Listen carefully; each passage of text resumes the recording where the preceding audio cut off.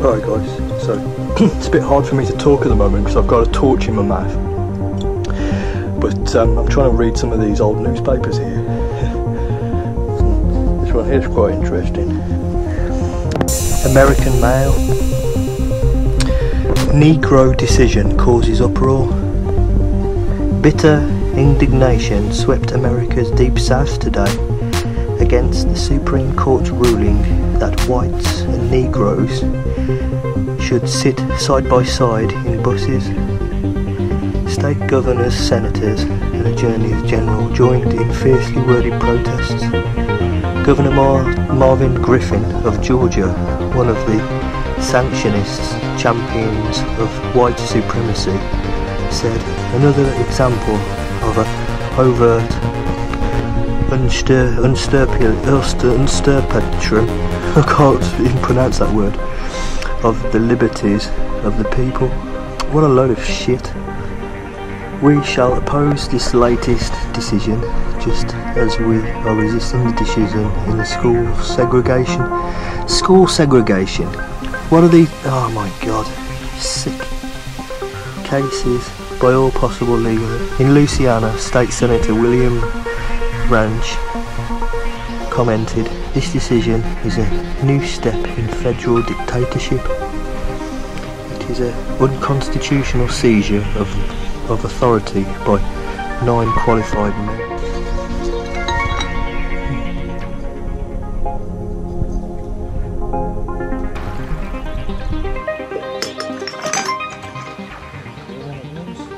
Quite a few of these. Nescafe. Must have been one of the very first instant instant coffees. That was a nice one. It's a green one.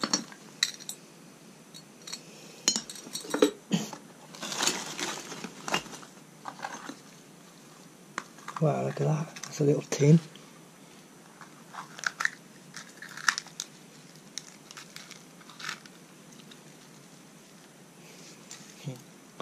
Nothing inside it. Oh, wow, OXO. That's unusual. That's, that's a nice one. It's got a it's got a glass top. Ah, thimble. Look at that. That's a thimble. It's hard to get comfortable in this place. This is uh, rubble, bits of glass, bloody everywhere. Wow, that's awesome. Still got its original box.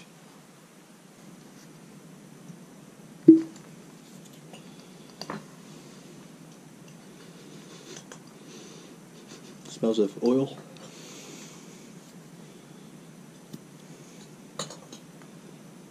That's quite a cool one, that is. Heinz malt vinegar. Didn't realise Heinz made vinegar.